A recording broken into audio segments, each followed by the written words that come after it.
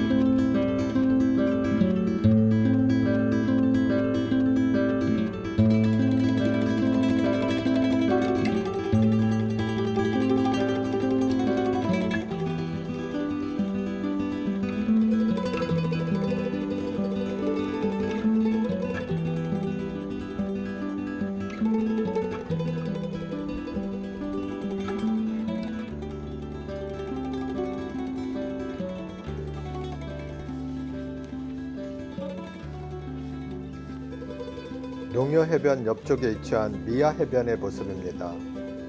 미아 해변은 모래로 구성된 광활한 갯벌로 밀물과 썰물에 의해 물결 무늬가 만들어지는데요. 바닷물이 들어오고 나가는 방향의 세기에 따라 형태와 방향이 달라지고 있습니다.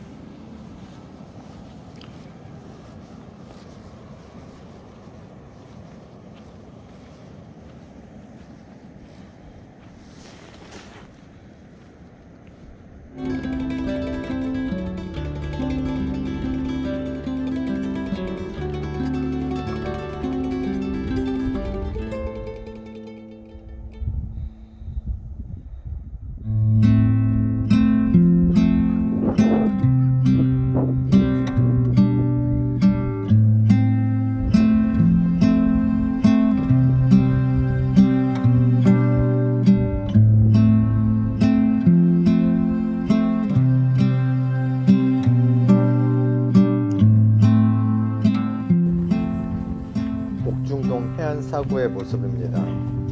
한국의 사하라 사막이라 불리는 옥중동 모래사막에는 사막의 이동수단인 낙타 조형물이 있어 우리들에게 즐거움을 주고 있습니다.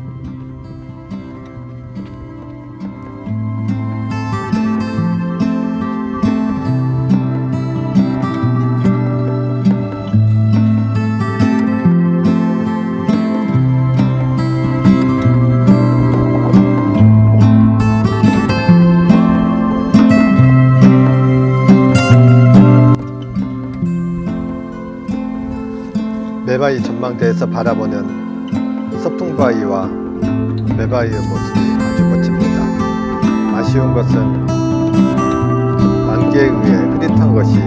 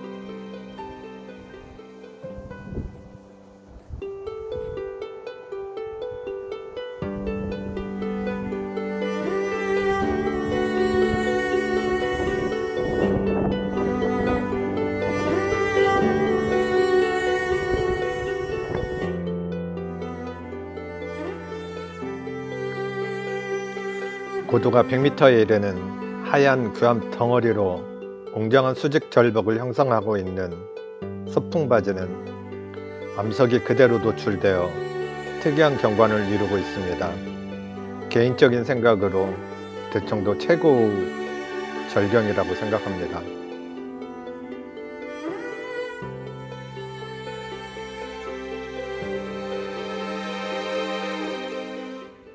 지금까지 대청도에서 1박 2일 동안 촬영한 영상이었습니다. 시청해 주셔서 감사합니다. 코로나 조심하시고 건강하십시오.